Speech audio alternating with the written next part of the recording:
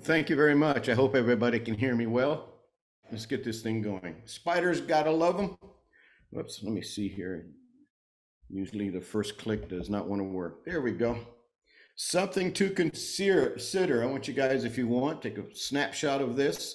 The key to controlling any pest is knowing all you can about that pest. The more you know about that pest, the more successful you'll be. And knowing the idea of that pest uh, actually gives you a, a, straighter shot to coming up with some type of solution because guessing is not good and will often get us in trouble. Knowing their biology and habits will enable you to develop a treatment strategy that will be effective. No pest for no pest, you have to know pest. That's with an S at the end, by the way. I don't know why I didn't have that in there. So anyway, let's move on. I want you to look at this. I put this in here first just to show you that, yeah, uh, the, uh, sometimes spiders can be uh, very scary looking, like this uh, trapdoor spider out of Kentucky. But the chances of getting tagged by this spider are really slim. You can actually hold most spiders and they just look at you as another substrate that they crawl over. It's not until you may uh, you might try to press on it or something like that or if you get it agitated, that it might try to bite you.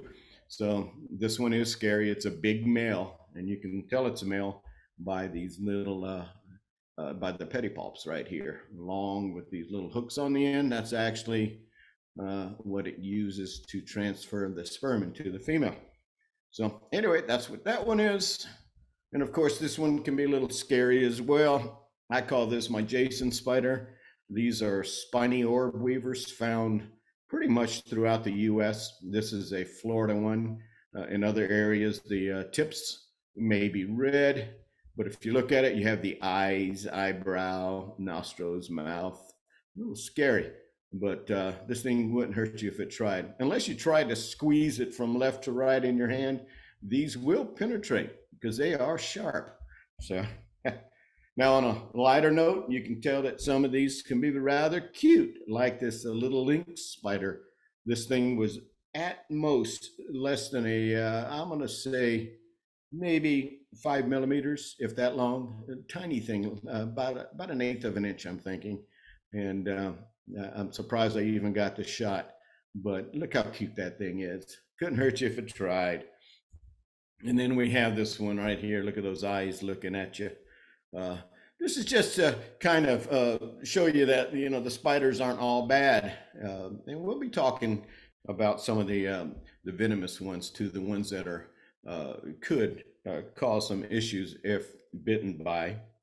And here's another thing I wanted to talk to you about: how spiders are basically uh, the fear of spiders is primitive, and it's usually taught uh, most of us do not uh, come into the world with a fear of spiders and snakes.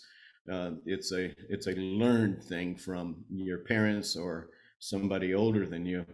Here's an example. This is my wife. She's holding a seven foot, actually seven foot one, eastern indigo snake named Jaws.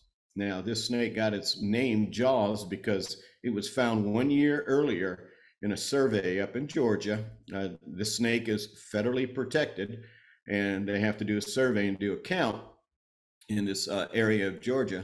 And we were in that survey, and uh, this thing is uh, massive. And my wife uh, held it. She's not afraid of it because she knows that uh, you know these things are usually harmless. Yeah, they may bite you, and that's not because they're they're mean, it's because they're trying to defend themselves. And that goes for spider bites as well. If uh, somebody gets bitten, it's usually because uh, it was pressed up against the skin. So let's move on.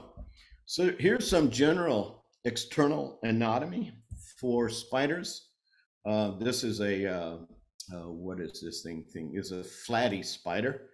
Uh, we'll start at the top. We have the abdomen, right there. And this is the uh, cephalothorax right in here. We have our eyes. Most spiders have eight eyes, you know, uh, and there are some that have six eyes, and we'll be talking about that later. And of course, you have your legs. So this is the upper part of the spider. Notice uh, uh, that it only has two parts, the abdomen and cephalothorax. Well, uh, most of our insects have three parts. You have the abdomen, uh, the thorax, and then of course the head or whatever. So here we go. Uh, here's uh, looking at it from the front. Remember I said, uh, mentioned the pedipalps earlier? And uh, we have the jaws here and the fangs on this particular spider. Pretty gnarly. Y'all agree? Yeah, I bet you do. Now let's look at the underbelly. We have the sternum right in here. We have the epigynum. I, I hope I said that right. It's right in here. I'm terrible with uh, these Latin names. We have the book lungs, spinnerets here, and spiraco here. This is where they breathe from. Okay. Now we're going to start with medically important spiders that we have here in the U.S. So uh, these are the ones that could cause problems if if bitten. So worldwide estimates, we have about 46,000. Uh, probably more now since I've, I've, written this because research is done every year and there are species out there that have not even been seen or, or uh, discovered yet or actually um, uh, researched. Now, only about 200 species have demonstrated to be of medical concern to us.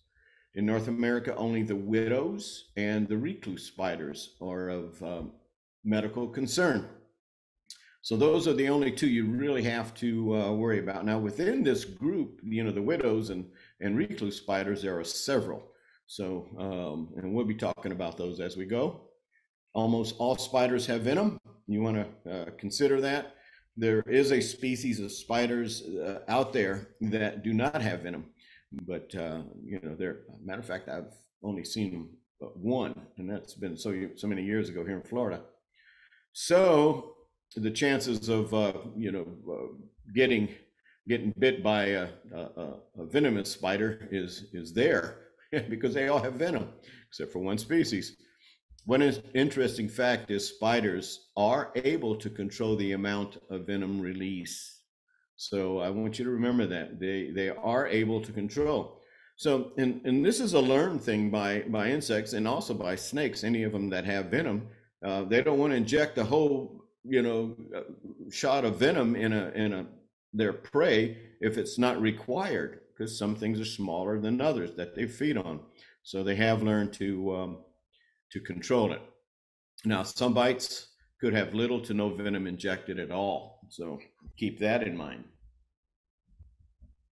if a bite does occur it's important to collect the spider or its remains for positive identification by a competent person now, of course, you you take that spider to the to a hospital or to the doctor and say this thing bit me. It's always going to be a brown recluse, of course.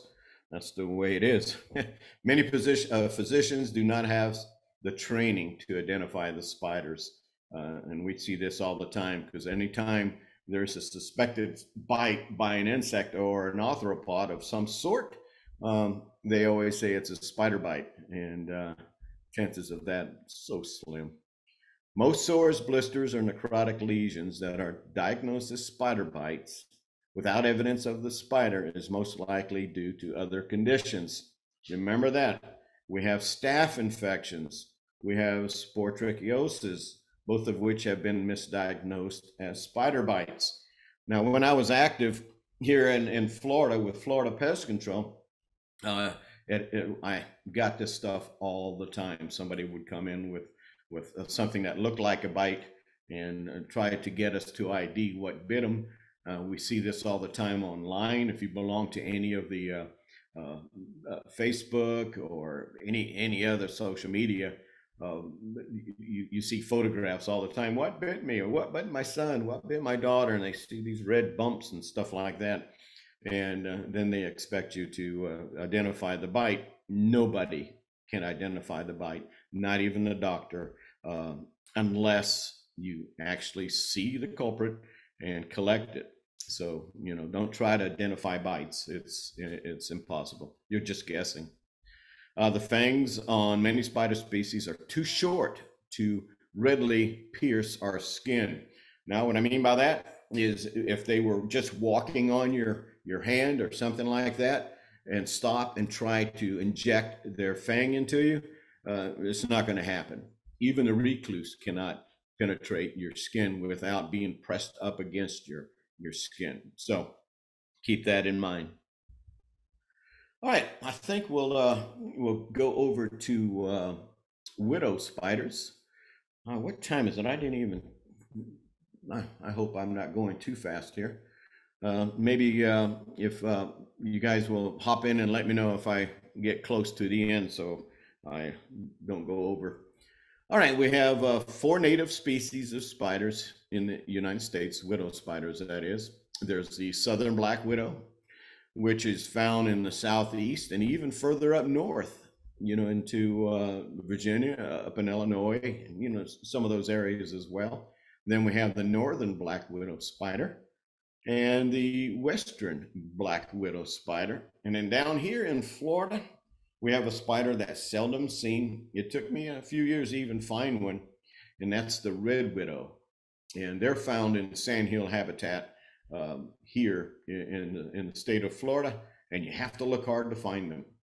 And then, of course, the brown widow, which is an introduced species. It's not a native of the United States, but since they have been re uh, since they've been introduced, they're oh man, they're, they're pretty much throughout the southeast, and I hear they're being found uh, west, you know, into California. So they are definitely spreading. The red or reddish hourglass on the underside of the abdomen is a key identification characteristic. And uh, as I show you some photos of these different type spiders, uh, I'll show you how to identify them uh, by actually looking at the, uh, the uh, hourglass, the red hourglass underneath. Egg sac from the brown widow, uh, they have these small spikes on them, the little orbs that stick out of the surface and the uh, the the the uh, egg sacs from our other uh, native widows they're smooth they're round and smooth without those little orbs. Here is a male black widow.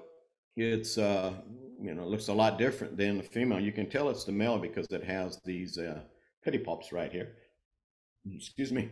And uh remember i told you that this is their how they transfer sperm over to the female.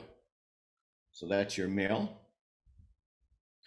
Okay, here's a female southern black widow. Now, if you look here at the hourglass, you notice that it's a complete hourglass. It's full. There's no breaks. It's not cut off. It's, you know, it is a full size hourglass and uh, it's completely red. Now, this orangey area you see here is probably just a, an effect of the light, the flash that I used to take this photo. So that's your southern black widow. And there's the uh, a photograph of the complete hourglass. And an egg sac here. Uh, notice that it's round. This is a very old photo that I took with film, you know, gosh, probably 20 years ago or more. And the northern black widow, uh, they have this this stripe on the back of the abdomen pointing to this other one. There's actually sometimes another red dot up here uh, closer to the head, but you notice that they, uh, this red, red spot looks like a heart. Pretty cool. So, and then the underside where the hourglass is, we have the, uh, notice the gap right here. It's divided. So that's how you tell the difference between the uh, the northern and the uh, the southern black widow. So there you go.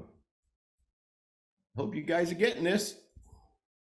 Oh, and here's that other dot that I was telling you about. This is the line pointing to this one, and then there's another one up at top. This once again is the northern, and you notice the uh, round egg sacs here. This, these spiders are in Florida, but only in a small area up in the panhandle uh, around this area called uh, Torreya State Park and Gadsden County and all that for you Florida boys. Because I saw a couple of you pop in from Florida. And here's your brown widow. The brown widow can be very variable in color. They can be almost as dark as a uh, as a, the black species, but um, most of the time it's kind of brown, and you can see the uh, the light banding on the legs here. And if you look at the hourglass, it is an off red. It's a reddish orange, and it's not a full. You have one area that's full, and then the area that's closest to the head is uh, three quarter size. It's not the the full size uh, that you would see on the uh, southern black widow. These things are, like I said, everywhere. Uh, they're throughout Florida, probably Georgia, uh, Alabama, west through Texas. Um, I've heard of uh, people seeing them in the Carolinas as well, and I've heard reports out of uh, California. So they are getting around, no doubt about it. They hitchhike. Uh, I have seen them uh, under bumpers on cars, campers. Uh, they love doing that, you know, building their their gnarly nest uh, around bumpers and underneath things. I've seen them in mailboxes. I've seen them under uh, chairs on patios and stuff like that. So they love to get underneath um, objects to build their their nest. And here's the egg sac. Notice the orbs. There you go. Got all these little spikes sticking out. Uh, you've already seen the uh, the eggs from um, from the uh, other widows, and they were perfectly round. So, and by the way, there's a lot of predators. There's a predatory wasp that seeks out the eggs from widow spiders, and um, should have put a photograph of those in next time maybe. But um, they they're parasitized quite a bit. So that's some good biological control right there. Now here's the uh, red widow that I was telling you about, and it is probably the the best looking one. There's no doubt about it. It, it is a beautiful spider, nice red. Um, these, like I said, are only found in Florida, and you can see the the top is usually uh, has has these red dots on it, and of course they do have an hourglass. Let me see if I have a nope. I don't have a photograph of the uh, understructure. I do, but I didn't include it on this. But uh, if you guys ever see one of these, uh, man, that's pretty good. You have to go think uh, through places like Ocala National Forest and look for them, usually around uh, palmetto bushes and such. All right, the venom from widow spiders are uh, neurotoxic, um, which affects the nervous system. Uh, if bitten, uh, a victim may feel uh, a painful rigidity in the uh, abdominal area, your muscles there in your belly, uh, tightness in the chest, increased blood pressure, body temperature will rise, you get some nausea and sweating. Now that, that kind of sounds like a bad flu to me. So, but um, the interesting thing is you, you hear about how deadly they are and oh they can be if you know if it's a, a a young uh, human, or you know, a child, or somebody that has uh, some immune issues, or the elderly that uh, uh, that may be bitten. But there has been no deaths reported since they first started reporting black widow bites um, back in um, 1983. That's when they started uh, actually recording these and have annual reports. So that's that's a good thing. And if you ever hear of somebody telling you that, you know, yeah, they know of somebody that died from a widow bite, uh, no, it didn't happen.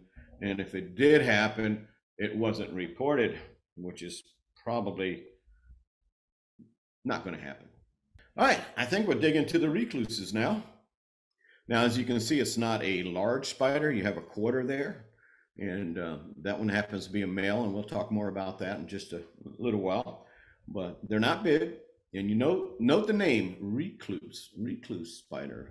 If you know the meaning of recluse, means that it's not, you know, out and about and it, it likes to hide. It's shy, so very reclusive. Now there are six native species in the U.S. Excuse me, Uh, we have uh, the brown recluse, of course, has the largest range. Um, the other ones are found in desert areas, um, Arizona, uh, Texas, oh, New Mexico, uh, into Southern California and stuff like that. Now, when recluse spiders are found in those areas, it's not going to be the brown. It's going to be the desert recluse or the uh, the Apache. You know, there's some others. And uh, one, uh, there's also a couple of, of recluse spiders that have been re, that have been introduced, and that would be the Mediterranean recluse and the Chilean recluse. The Mediterranean recluse is the one that's most often found in areas at the uh, uh, outside of the brown recluse range. For instance, here in Florida, uh, we can find Mediterranean recluse spiders around port areas uh, such as Tampa, Jacksonville, Miami. Um, they're usually brought in. Now, the, the cool thing about uh, recluse spiders, when they're outside of their normal range, uh, they're going to be very reclusive. They're not going to travel from, let's say, they were brought into this particular warehouse in some goods. Um, the chance that those spiders aren't going to migrate over into another building you know 30 feet away they're going to pretty much stay right there. And, and that's what makes it easy to control them. Once you find them in a building you can pretty much eradicate them uh, in areas that, that are outside of their uh, natural habitat. Now the, um, the key identification characteristics pretty close uh, easy it's the fiddle. And i'm going to show you uh, pictures of that. And uh, three pair of eyes. Remember what i said earlier most spiders have four pair of eyes. Uh, there's just a few spiders that have the uh, six eyes, three pairs. So let me go ahead and dig into that. You can see that real easily in, on this male. You have a, a pair, a pair, a pair. There you go. And you can also see the violin or the fiddle-shaped head, uh, uh or you know, on the on the cephalothorax here. So this is a this one is a male. This is a, a brown recluse. This one came from Kansas. And here's the female, a better shot of the uh, of the eyes. Easy, easy to ID these. Um, uh, you know how it goes. You guys probably have customers. If there's a brown spider, it's a recluse. Now, I know we have uh, what do we have here? almost 200 participants. Some of you may be from the area of recluse spiders. Uh, there is a map that you can download and it gives you a general idea of where the brown recluse spiders are located. Now, if uh, you're out of that area and somebody says they saw a recluse spider, the chances are very slim. More, more than likely, they saw some other brown spider. Now, the uh, the venom, this is cytotoxic it's a it, it affects the cells. It actually will uh, break down uh, blood vessels and, and tissue, um, sort of like the, the bite of a rattlesnake or something. It is uh, it can be necrotic, uh, which means that it could cause severe damage, uh, but that is not the rule. Um, it, it's actually very rare. Uh, most of the time, when somebody is bitten, a lot of times they don't even know it uh, sometimes you have a, red area uh, and it just goes away after a while. Uh, but uh, it depends on the person. Some people react not too well to recluse bites. So um, when you see photographs of recluse bites where the, the skin was all you know messed up and eaten up, looks like hamburger, that is uh, a rare occasion. It doesn't happen that way to all people. Uh, yeah, I don't know if if you guys know this or not, but uh, only one death reported, um, and and that one it was highly disputed because they could not find um, the the spider, uh, and there were no spiders found in that area whatsoever as far as recluse spiders were concerned. Um, they think more than likely it was a secondary infection that took this man out. I, I believe that was here in Florida was cleaning his garage and something tagged him on the back of the neck. Um, most likely he died of staph. And uh, that's something I would have to look into and see if there's any new news on that. So here are some facts about some other spider bites in general. Many believe that spiders are quite common, which is uh, spider bites, that is, uh, which is simply not true. They have no interest in, any interest in us at all. Uh, we are not a food source. They feed on insects and other invertebrates, and they do not suck blood. So the chances of a spider just crawling down and biting a human for whatever reason is uh, just you know not not the way it works. Uh, they are just very rare to get a spider bite, but yet you hear it all the time from our doctors and and people. Of course, people out there will say, "Yeah, my brother's sister's cousin got bit." And then if you try to tell them that, you know, did you find a spider? Uh, of course, what they do is they're going to argue till, you know, they they don't like to be, uh, you know, told different. There are many insects that do bite uh, humans. We have the mosquitoes, fleas, ticks, bedbugs, and so on and so on. But uh, uh, you know that's that's normal. These are known blood feeders. And I had this fellow that I worked with years ago who got bit on the inner thigh. He got bitten on the inner thigh by a uh, a flea. He felt it actually, and the flea was there. And he ended up getting a staph infection from that flea bite and actually uh, spent uh, several weeks in a hospital. And he's got this little crater there now where um, the, uh, the skin had reacted and was eaten away by the staph infection. So I'm sure that some of you have heard uh, about uh, people getting, uh, um, you know, bitten at nighttime uh, you've probably heard some of the myths about spiders being swallowed during the night, uh, up to you know 800 spiders a night or some ridiculous number like that. Now, if there's spiders being eaten every night accidentally by humans, there's other issues there.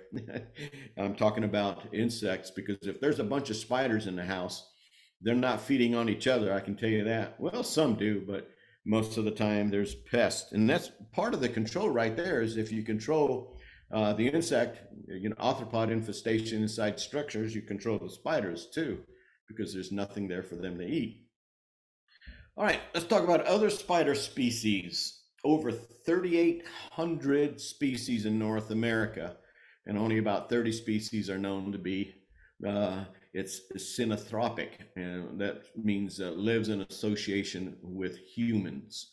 So hope you got that. Remember that one. Out of that 30 or so, many are of exotic origin, meaning non-native. There's a lot of spiders that we see in and around our house that don't even belong there because they came from someplace else, non-native. And that makes up uh, quite a few of the ones that we see around our structures. Here's a, an example of one you'll see around a structure. It's called a spitting spider. And if you look at it closely, you see one, two, three. That's three pairs of eyes. It is closely related to the uh, recluse spider, but it, it, doesn't have the same venom. Uh, and it actually spits out a, um, a, a, sticky substance that it keeps up here in the cethral uh, thorax, cephalothorax here, uh, and it, it, it'll actually spit it out and entangle whatever prey is there. So it's pretty cool. Here's a same spider. You can see the size of the head area here. And this is where all that goop is uh, being stored and manufactured. And we look here, they have all their egg sac. She's carrying around her egg sac. Looks like a sack with a bunch of little ping pong balls in it. So that is a spitting spider. Uh, here's a, a, a, photograph I shot. It was by accident. I have these around my house. They're on around the outside. And uh, one day, one night actually, I had my headlamp on and I'm taking photographs of this spider. And um, sometimes it looks like a fruit fly flew in towards the light, like a lot of insects do. And this spider spit it, grabbed it, and pulled it to it. You can see the line right here where the spider was uh, actually uh, trapped to start with and pulled to feed on. So that's a, a pretty good demonstration on what spitting spiders do. They spit and capture the. I even jumped. oh, good. I hope I scared a bunch of people.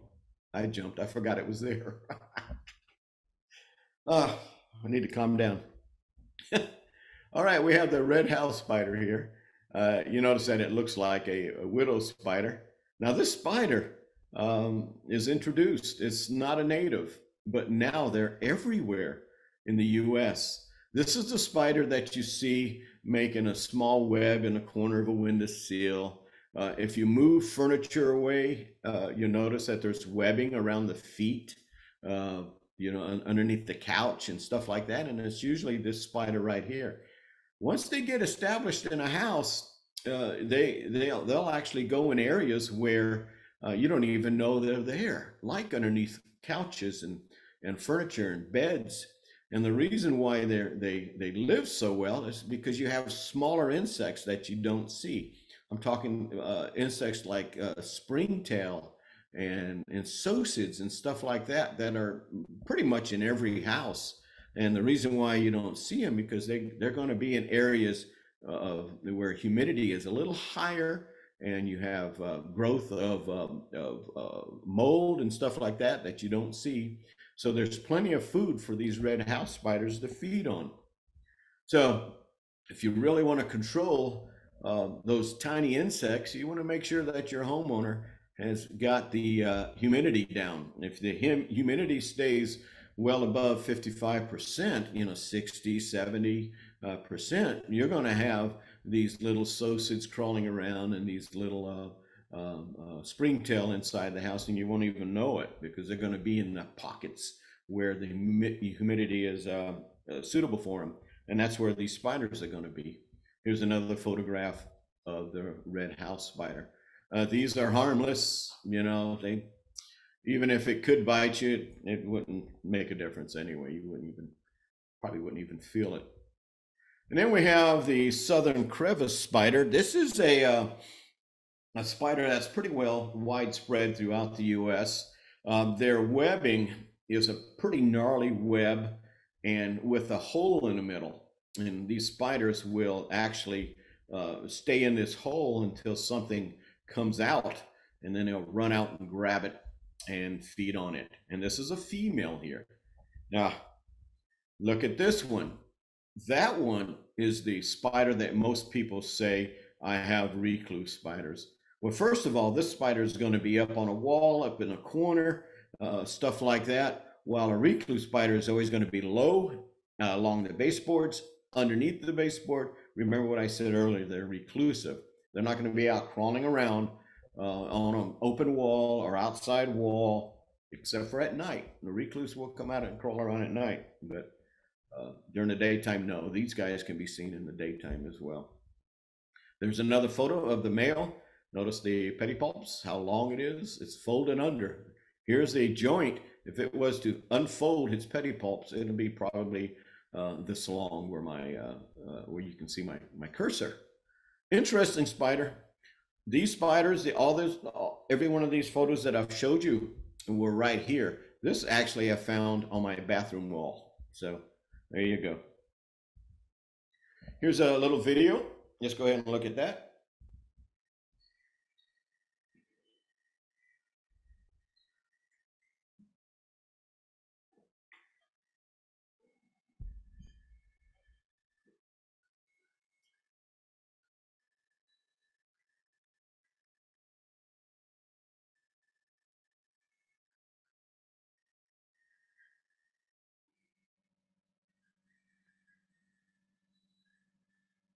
Um, that spider was actually uh, in a mobile home that uh, was infested with these crevice spiders. The, the mobile home, the, the, the, lady that lived there was wheelchair bound.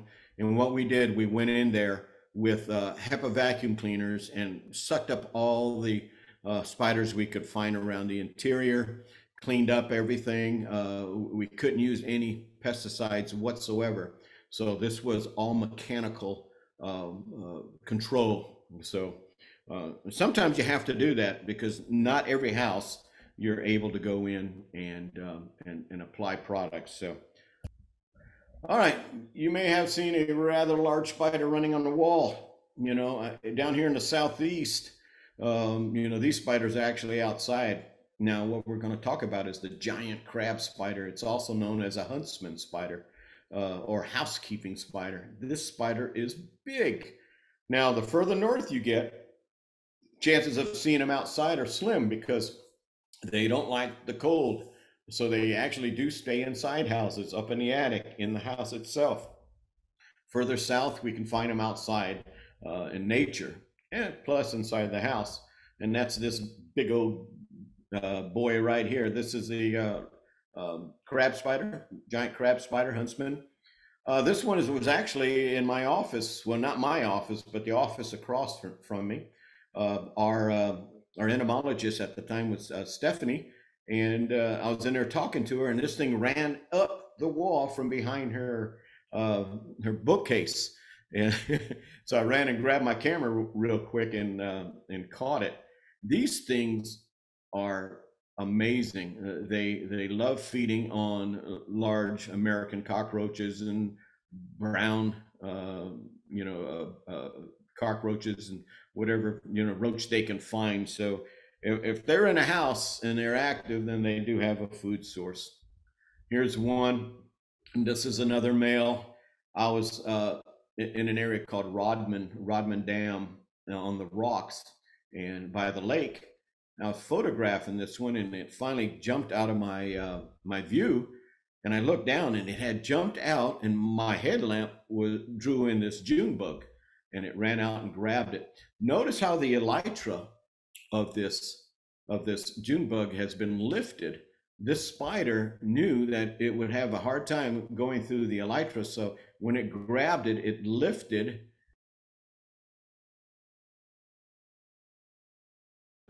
on this particular one. So spiders are pretty smart. Now this one here it says my internet is unstable. Oh my.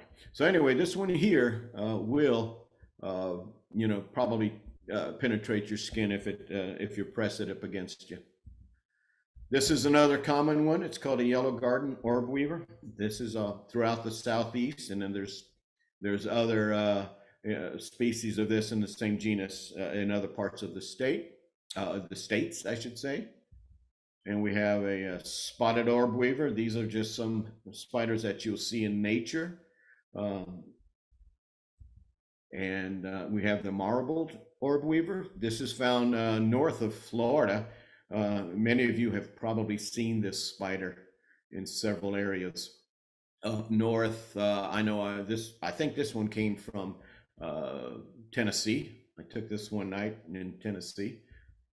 And then we have the orchard spider. I'm just going through some spiders that you may see around houses that uh, are doing, you know, good pest control for you.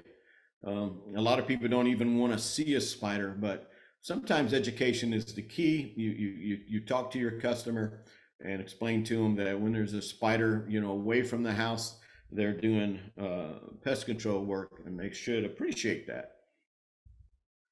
Uh, this is a ghost or sac spiders. This one actually is a, um, a, a, ghost spider here. Beautiful little spider.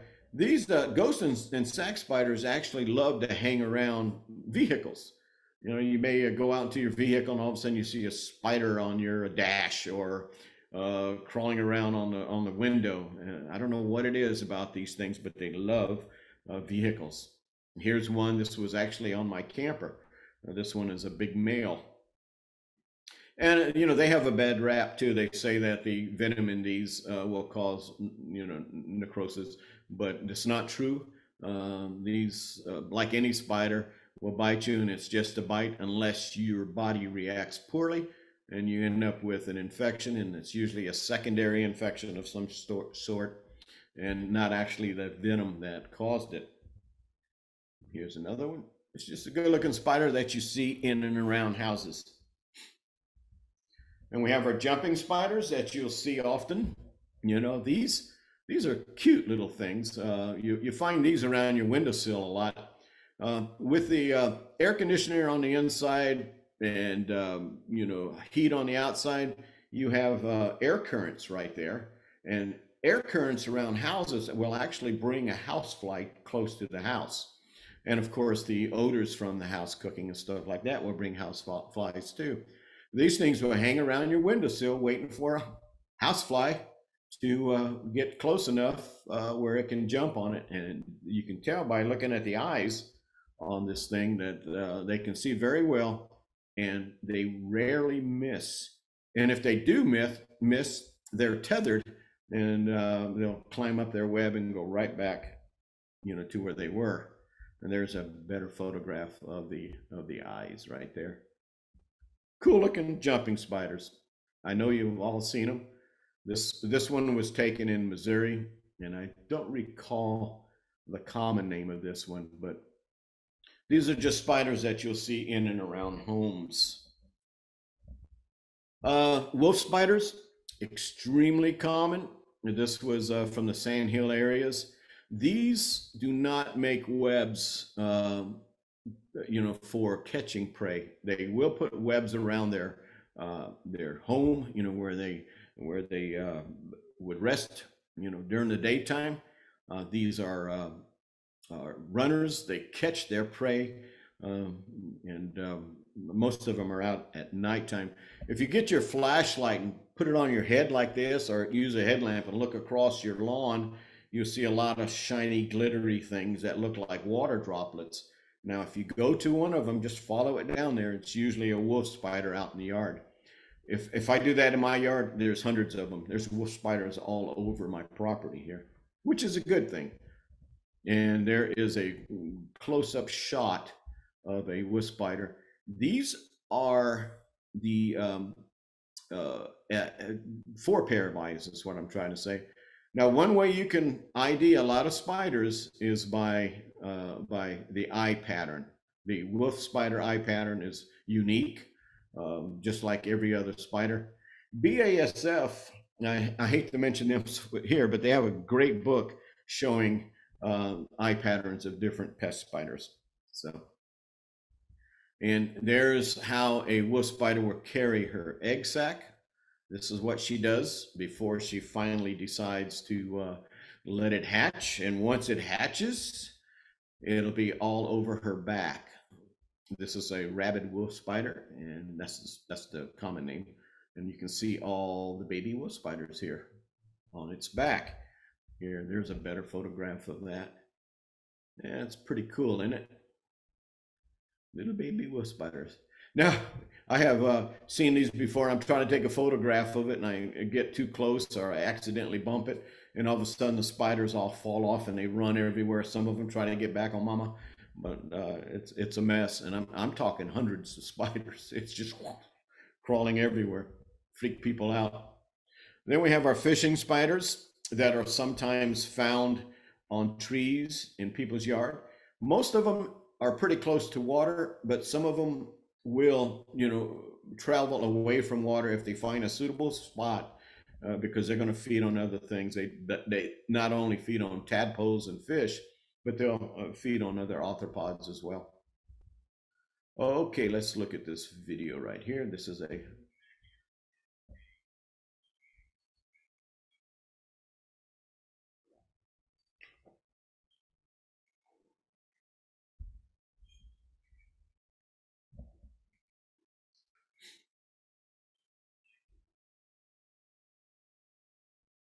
Yeah. That was the same house that we were uh, cleaning up the inside for the uh, southern house spider, the crevice spider. These uh, fishing spiders were all around the outside as as well as some other spiders as well. Uh, that that house was um, a spider haven. I mean, we I found all kinds of species there. Now a little bit of spider control inspection, of, of course, is your first and uh, uh, you want to do the best inspection you possibly can. You want to look because not only will you uh, find the spiders, but you may find some other things that you need to control. Identification, I'm a stickler for this. Positive ID is a must, you know, when it comes to a medical concern, when it comes to spiders, especially if somebody says they were bitten by a spider. Identification is the key. Sanitation, I'm going to read this out. Inside clutter, such as boxes, paper, clothing, uh, things such as that should be discouraged. outside debris, you know, lumber piles, firewood, stones or bricks, landscape timbers. Uh, move that away from the structure. Uh, th- that will discourage, you know, the spiders from being uh, moving into the house. And um, your shrubbery and your grass should be, you know, trimmed away from the house. The grass should be cut at the recommended uh, height and things such as this. All of this will go a long way in controlling spiders. And of course, uh, cobweb dusting uh, uh, to remove spider webs. I, I, saw an article somewhere on pest, not an article, but a post on Pest Cemetery recently about a guy that doesn't use a duster. And that's fine if he doesn't want to. Maybe he doesn't have the uh, the spider uh, you know problem that that some other people have, but using a cobweb duster will go a long way as well. And then get your your control product up in the eaves, uh, in the where your fascia is and where your soffit meets the wall. Force your product in there because the spider will back up and get down and get that on the body, and eventually they will die from the product. Why are spiders so difficult to control uh, with um, with the products that we have out there? Well, you know, they don't groom themselves in the same manner as other uh, insects do, but they do groom. And if you get your product where it needs to be, they will come in contact with it.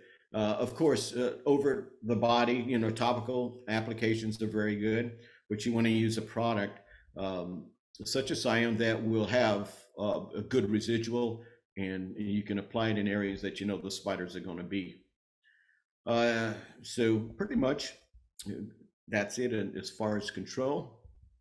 Now let's talk about a couple things that uh, you know that aren't real spiders. This is actually called a harvestman, and if you notice, it is one single body. And it has two, uh, just a pair of eyes here. Uh, it has kind of like fangs, but there's no venom. Excuse me, in these things whatsoever.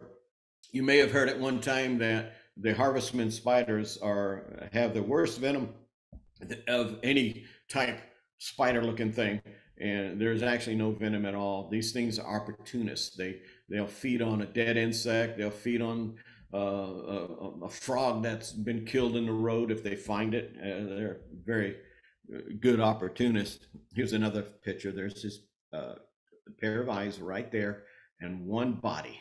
It's it's all connected uh, probably more related to a crab uh, than a, uh, a, a, actual spider. All right, I think I'm at the end. This should give uh, plenty of time to um, do the uh, the test, and I'm going to end it with this video here.